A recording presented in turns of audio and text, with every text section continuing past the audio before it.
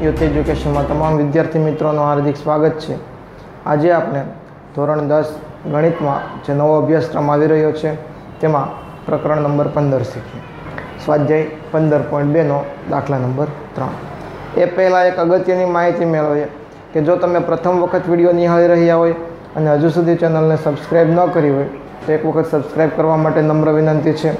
કારણ કે આપણી આ ચેનલ યુથ એજ્યુકેશનમાં ધોરણ એકથી લઈને બાર સાયન્સ, કોમર્સ દરેક ધોરણના વીડિયો લેક્ચર મૂકવામાં આવે છે, જેથી તમે પરીક્ષામાં સારા એવા માર્ક્સ મેળવી શકો.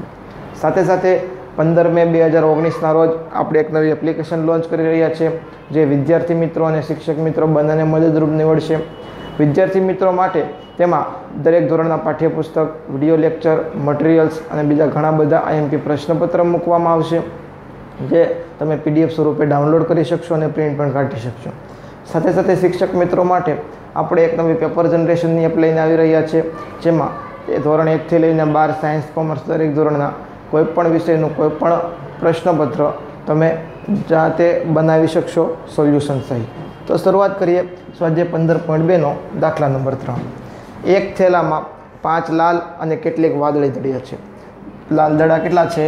પાંચ. લાલ દડા પાંચ. વાદળી, એટલે કે ભૂરા, દડા. કેટલા છે આપણને ખબર નથી, આપણે ધારી લઈએ એક્સ છે.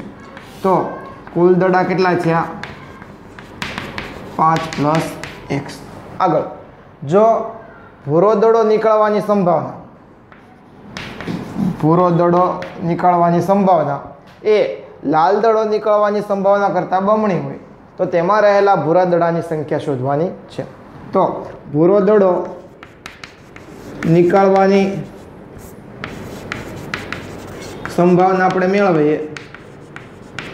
બરાબર. આપણે લખીએ કે ઘટનાના પરિણામ છેદમાં કુલ પરિણામ. આપણી ઘટના છે ભૂરો દડો નીકાળવો છે. તો ભૂરા દડા કેટલા છે? એક્સ અને કુલ દડા પાંચ પ્લસ એક્સ.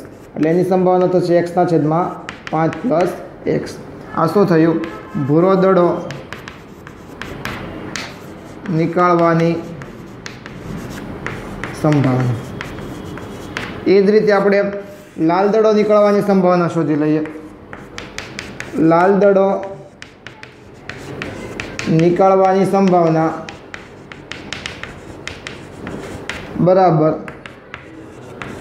ઘટનાના પરિણામ છેદમાં કુલ પરિણામ. ઘટના આપણી છે લાલ દડો નીકળવો છે. તો લાલ દળ આપણી પાસે પાંચ હતા અને કુલ દડા પાંચ પ્લસ એક્સ છે. તો પાંચના છેદમાં પાંચ પ્લસ એક્સ થશે. જે લાલ દડો નીકાળવાની સંભાવના થશે.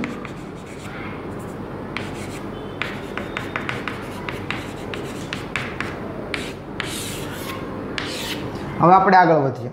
તો લાલ દડો અને ભૂરો દડો નીકળવાની સંભાવના આપણને મળી ગઈ. આપણને કીધું છે કે ભૂરો દડો નીકળવાની સંભાવના, લાલ દડો નીકળે તેની સંભાવના કરતાં બમણી છે.